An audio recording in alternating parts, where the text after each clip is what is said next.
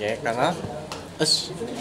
こんにちは、えー、ミルクのこともっと教えて Q&A コンの山中重太郎編。ゆるくいきます。自己紹介お願いします。名前年齢身長好きな食べ物キャッチフレーズを教えてください。山中重太郎17歳身長176か7好きな食べ物はチーズです。キャッチフレーズアンニュイなえー、アンニュイ柔らか太郎。アンニュイピポちょっとうるさいですね周りがね。パーパパグループの中でこれだけは誰にも負けないという僕の強みを教えてください。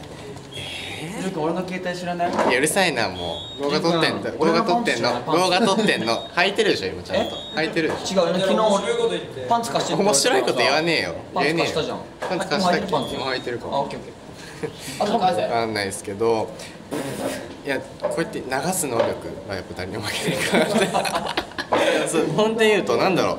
恥ずかしいな。なんて言うんだろうな。なんかその自分以外の人になれるというかなりそのまあ役者でもそうだし曲中にもその山中重太郎以外のなんかになれるっていう感情的な意味を込めてなれるっていうのがちょっと強みかなって勝手に思ってます。キャンキャンポーズって知ってる？想像でいいので自分が思うキャンキャンポーズをやってみて。あーうるうるさい。あー。え？えーキャンキャンポーズという。ことであのえー、と今度の「ジャングリズム」という曲でですねキャオキャオキャオキャオって僕がやるやつがあるんでこれです。キャンキャン読者に一番モテそうなメンバーは誰？ここに連れてきてどんなところがモテそうか理由を教えてください。えー、後ろでですねリュウビックが手を挙げてるんですけど。板さん来て。えどういう件えいいから来て。いいあの板さんにとってプラスになることすぐ来た。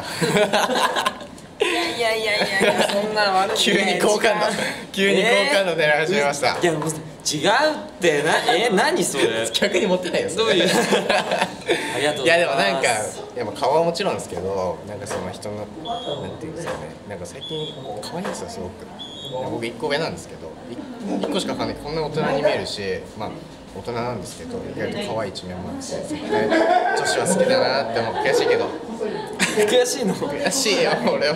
やいやでも本当にどうですか？その今の気持ちだけ言ってもらえるともう大丈夫です。あ嬉しいっすね。嘘やん。絶対モテない。はい。さよならさよなら。さよなら。頑張ってね。ありがとう。俺応援してっから。ありがとう。あ面白いこと言ってるなんか。言わねえんだよ。言えねえんだよ。一番振り嫌なんですということでもう終わっちゃったということで、えー、山中十太郎のミルクのもっと教えて Q&A コーナーでした。他のメンバーよりちょっと緩かったと思うんですけども大丈夫かな？ゆったり見てくれたら嬉しいです。最後まで見てくれてありがとう。バイバイ。